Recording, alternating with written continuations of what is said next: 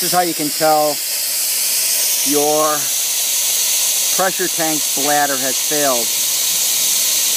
As you can see, water's coming out of the the Schrader valve in the top, and it should not be.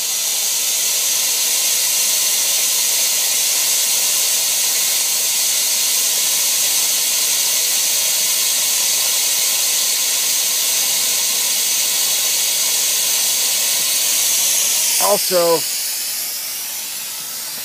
you can see the uh, the corrosion down there specifically.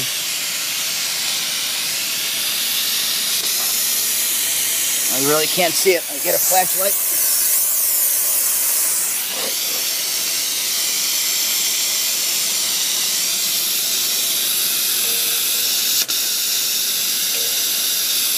See if I can do this here.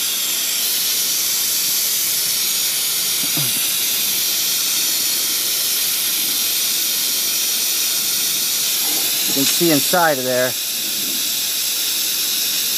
Still the rust and sediment. I'm sure that had something to do with the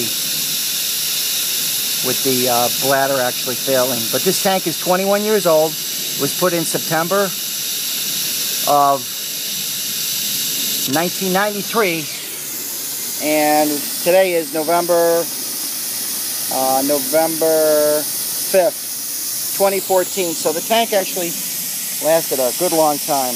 I'm very happy with it. Right now draining it out and I'm going to take it in and get it scrapped.